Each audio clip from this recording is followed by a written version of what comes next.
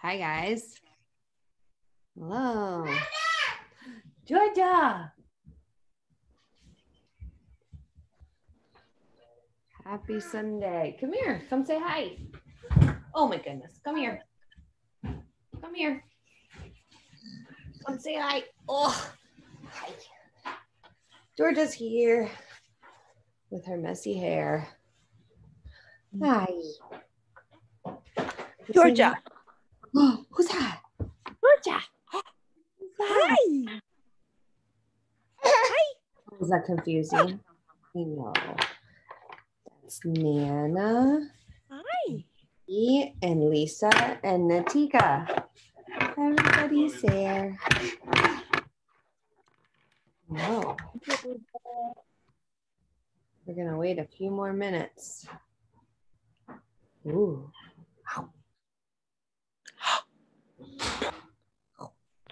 So I'm up on a mountain. If can you guys hear me?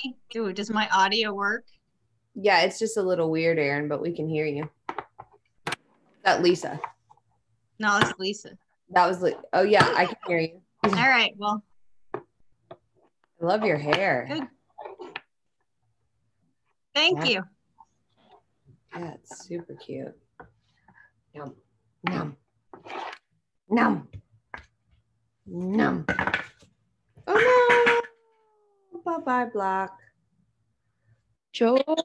Oh no. Hi, Nana. Hi, Nana. Hi, Georgia. See, the puppies are being crazy. And so I am banished from the room for a few minutes. Sweet. Yay. Yay. Oh my goodness. Oh my goodness. Cuddle bear. All right, guys. Well, well, I'm sure we'll get a couple stragglers, but we might have a small group tonight. So maybe a bunch of people will catch the replay um, I have a few quick um, announcements, just some things to look forward to in 2020. A couple little changes. Um, and we're going to remind everybody a whole bunch of times as as we get Nana, closer to Nana. I know Nana as we get closer to 2020. But a couple of things to look forward to is one, the Marco Polo groups Nana. are going to be changing. And so um, we're going to be shuffling them a little bit and making them smaller. And so this is nothing to fear. This is a positive. This is something that we've all kind of thought about quite a bit and will enhance our community and supporting each other. But um, that's one thing to look forward to in 2020 is a shuffled Marco Polo um, structure and smaller groups.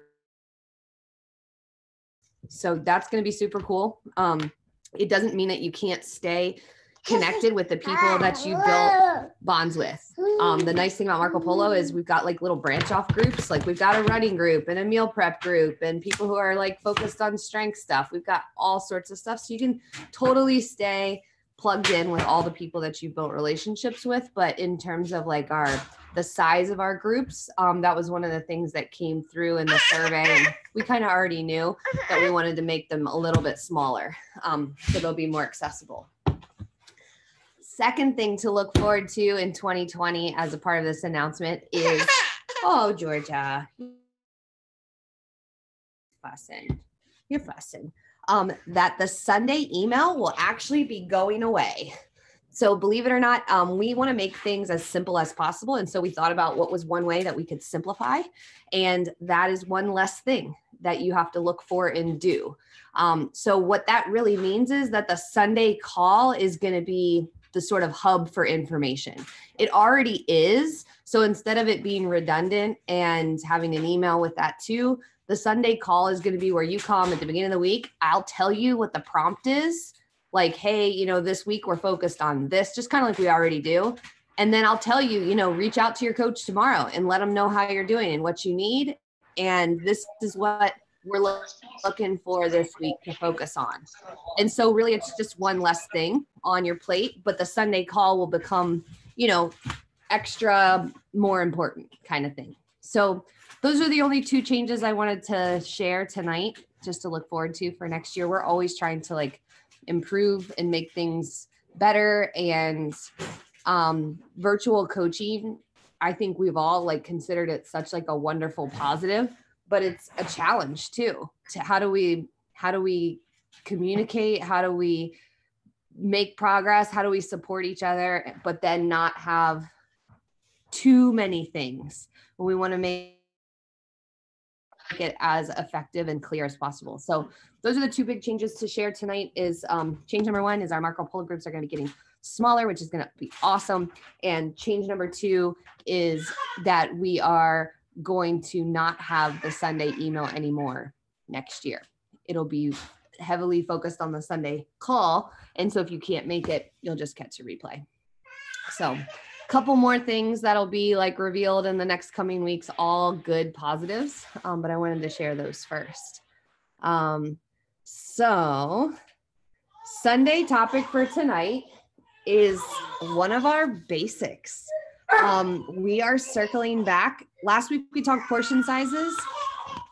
Josh just got georgia. That's why she's mad. I'm gonna go hide for a second. That way i can talk to you guys. She's mad. Um, last week we talked portion sizes. This week we are circling back to one of the basics we start with on day one of our foundation, which is water.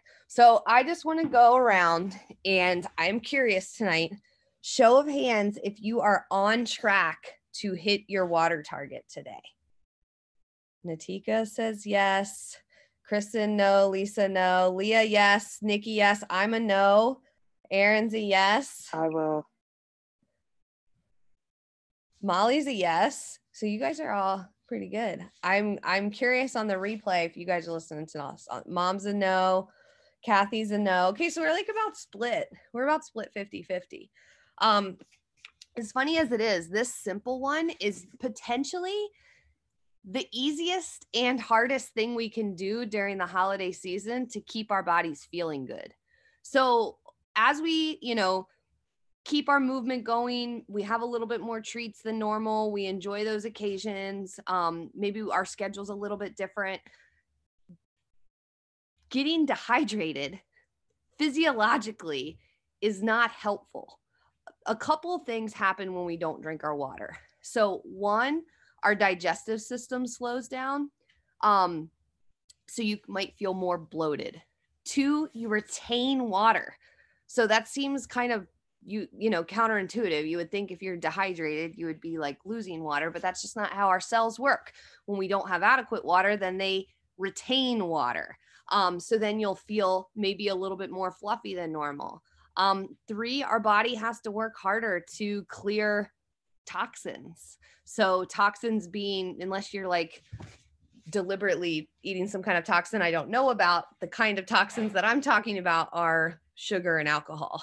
Um, and just other, you know, food. We have to, our body has to process food.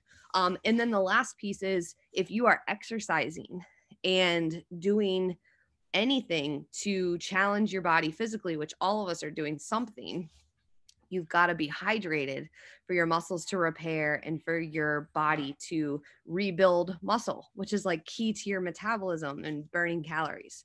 So, for all of those reasons, we want to be hydrated. Um, but two, I mean, I didn't even talk about skin. I didn't talk about like all of the other things that really make a difference when you're hydrated. Oh my God, Aaron, you're so funny. Are you hiding your elf right now as we do a Sunday call?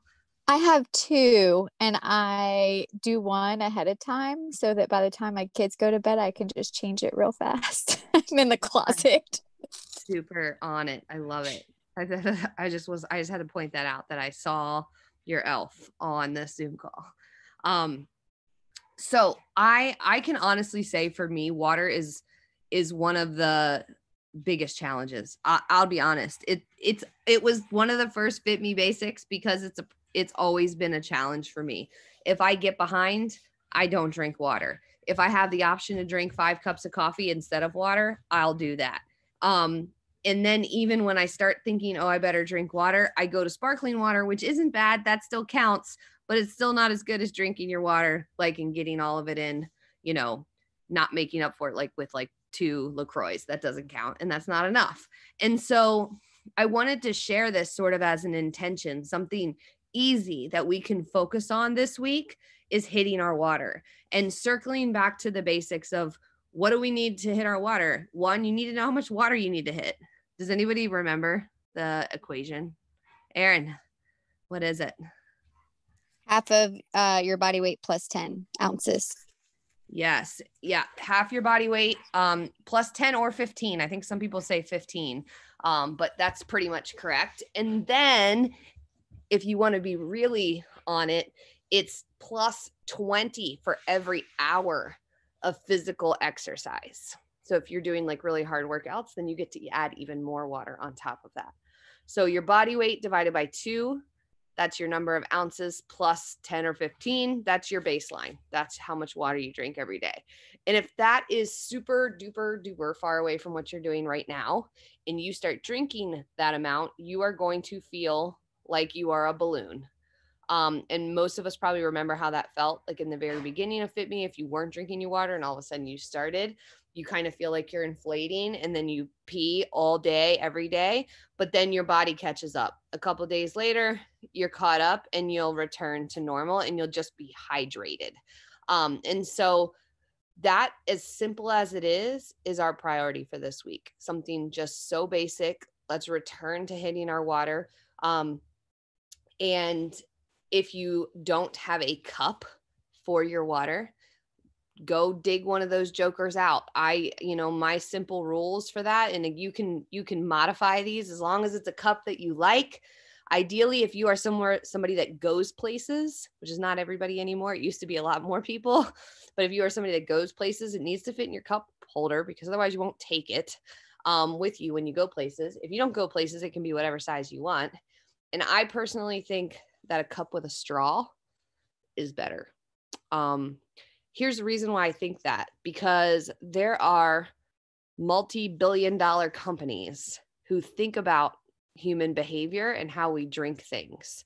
And if you go to a movie theater or a baseball game or somewhere else where they sell sodas, there is no universe that they would sell you a soda in a metal jar or canister that you have to unscrew to drink they don't do it because we don't drink very fast that way.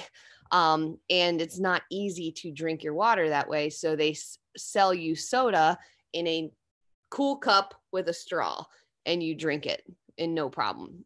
Um, and so I kind of took that cue for if you do struggle with water, then using a cup with a straw can be really helpful. If you don't struggle with water and you already get it in, then you can have a metal cup that screws on the top you get to pick whatever cup you want if you drink all of your water. But if not, I strongly recommend a straw. It makes a big, big difference. So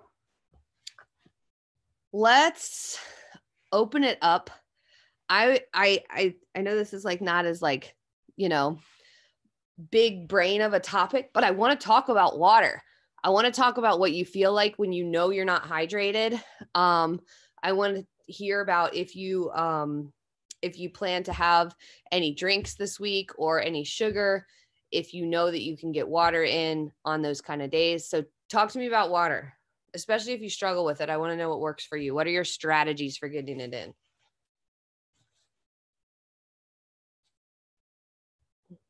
Mm-hmm. Lisa. Although, Yeah. okay, so this is one I struggle with really bad, and Molly's been helping with it. So I'm gonna share one one of the tips that she gave me that seems to help me a lot is before I'm allowed to have anything in the morning is having a glass of water before my coffee, before anything. And that has been where I'm getting more out of my water is forcing myself to before I'm allowed to have any other liquid like tea or coffee is getting that cup of water, like eight ounces, 10 ounces of water in before I'm allowed to have the stuff I want, like coffee. Mm-hmm. I like that. I Um, think I never hit my never Uh-huh. hit my target. you have not ever yet. Oh. Not not the one that we set when we do the equation. I have not hit it.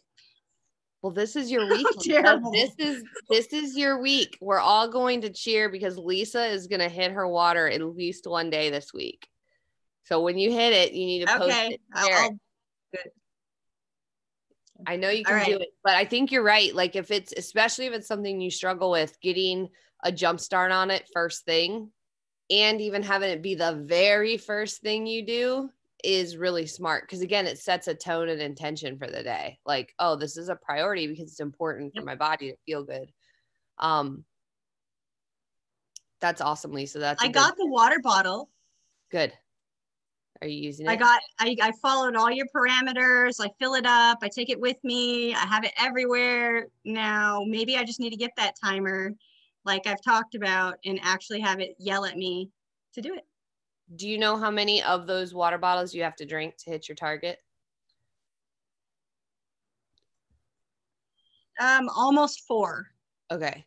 So that's that's what I would use is like if you know you have to get four, then like choose times throughout the day that you want to be done number 1, done number 2, done number 3, you know. Um a lot of people use a strategy where they really just have a timer go off every hour and they drink a little bit rather than, you know, to try to chug it or something like that. It's- I like that. mhm. Um I also think All right. Doing- Well, thanks. Gonna, Well, I think another way, Lisa, that you talked about um, just with starting your day with it is starting each meal with a glass of water. So that's like another way to sneak it in without having to like really change anything. Cause usually you're, if you're going to eat a meal, it's not that weird to drink a glass of water before you do it. Um, so that's another good strategy. Uh, Kristen just wrote in the chat box. She wrote, Lisa, what are some of the barriers to getting your water? What gets in your way? well, some of the barriers for water for me is obviously one, just being super busy. So I tend to forget to drink water because I'm just hyper focused on work. The other, I'm going to be very candid. I don't know if anybody has the same problem as me, is I tend to dehydrate myself before I go to the gym because I have bladder issues. So it's embarrassing and you don't want to run to the bathroom constantly. Jump roping sucks. Mhm. um, running can suck sometimes. So I just I dehydrate myself. And so that's a huge barrier for me and I need to just get over it. hmm I know that you're not the only one who has that challenge. So I'm glad that you shared it just because I know that's a real thing for a lot of people.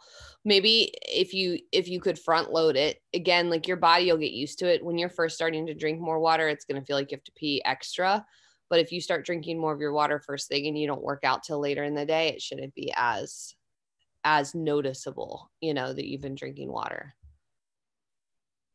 Um I I got one of these water bottles that we've talked about before that say the times uh-huh. and I take it because I don't have time. Well, when we were working, right? Still, I don't have time to fill it up. So it's really big. And people at work comment on it all the time. But, you know, if it's a certain time, you know, I have an alarm go off and I say, okay, did I drink, you know, to that time? And then, so here it is, eight o'clock, and it's, I've got like barely any left. You did it. I have the same water bottle that's sitting on my counter, not drank. They used it to fill the Christmas tree today. That's what happened with my water. they were like, "Oh, there's a gallon of water here. I will fill the Christmas tree with this." Um, but That's- I do like a time, you know, a time calendar on your water. I think that's excellent. You hydrated the Christmas tree before yourself. I did. Yeah. Actually, my kids did, but that was my fault. Um, Natika said her smartwatch reminds her to move regularly throughout the day, and then she uses that reminder for her water. That's great. And that's like a, a habit stack, actually. Like if you, you know, stick those two things together, that's a really good way for your brain to kind of just like recharge the battery, right? Like go for a little walk, drink some water, back to business. Um, that's really awesome. That's smart. Um, you know what's funny about water? It's just like everything else. Um when i think about aaron you were saying how it takes so long to fill up your water bottle. I think of that too because i have the big one and i hate standing there at my fridge and filling it up. Even though it takes like three minutes it doesn't take a long time but it feels like a long time to stand there for three minutes and fill up my water bottle. And so then sometimes i don't do it and then i think to myself, well, it takes too long to fill it up. Like it's it's annoying. But that just shows me that I haven't made drinking water a priority because once something's a priority, like again, if it's not a priority, if it's a little obstacle or a big obstacle, it doesn't matter. It's going to get in your way. If it's not a priority, like standing at the fridge for three minutes feels like as big of an obstacle as like being in the desert with no water. Like I, I can't do it. I can't drink my water. I'm in the desert, or I can't stand there and fill up my water bottle in my fridge because it takes too long. Like, but it, the truth of it is, it's just I haven't chosen to make it a priority. And again, there's about if you want to like do a quick Google for how to lose weight, like the mo- top five most important things you can do for a healthy body and lose weight, on every single list from anybody that's reputable, drinking your waters on that list. There's no person who's like having physical transformation that lasts a long time that doesn't drink water on the regular. They just go together. I just wanted to share, I have the gigantic water bottle too, and I hate filling it up. Sometimes I get my kid to do it. Um, so what I started doing is before I go to bed at night, filling it up, putting it in the fridge, and it's been a game changer because I know it's ready to go in the morning when I'm doing my workout and stuff, and that's been really helping me. That's a I've good actually idea. been on a water streak for a few weeks now. So Maybe that's the tiny tweak that I needed to change. Mhm. Fill it up the night before. I mean, I just need to fill it up in my shower. Just like go ahead and take in the bath and fill it up with the bath. so it's faster. Or the hose or something. because for Fill- some reason it's easier to fill it up at night than it is in the morning. I don't know why, but for me that works. So Yeah. Yep. Temperature can matter too if people struggle with water. Sometimes water that's too cold is actually harder to drink. Um, and so, I mean, again, if you're somebody who does great, you drink whatever temperature you want. But if you're somebody that struggles, then shifting to more of like a, a cool or slightly cooler than room temperature might be easier to drink than like ice cold. That's funny you say that because I actually will fill my water bottle up at night so that it's not cold, so that it's like room temperature. And then I drink it way easier. hmm Yeah, that's definitely a thing. It's, it's for sure. Christy, I actually like to drink my water hot. Oh, Um, not so hot that it burns, but like hot tea almost, but just plain water. Um, as long as it's not too hot, I can drink it a lot quicker. Huh. Um, I now during the my I go to well, I haven't been to him in a while, but my acupuncturist, he's from China, and he tells me when it's cold, you drink hot. When it's hot, you drink cold. yep. That sounds like Eastern medicine kind of ideas. They have a lot of ideas about temperature and stuff. That's Yeah, cool. And I find it works for me. It's just during the winter, it is a little bit tricky to. So I use a metal water bottle hmm that keeps that's supposed to keep things hot longer. Yeah, the metal ones definitely do keep it hotter. Um, and really, you know, I'm just kind of teasing about the water bottle. I i- any water bottle you actually like and you'll use is the right one. Just like workouts, any one that you'll actually do and you like, that's the right workout for you. Um, but I just do joke because I've been tempted many times at Target and other places that sell those cute metal water bottles, and I have bought them and never used them, or I use them for like one day, and then I'm like, don't use them.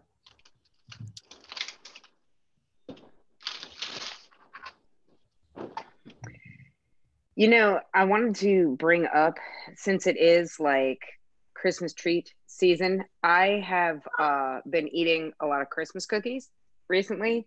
We just did a Christmas cookie exchange in my family today, but um, I hit my water yesterday.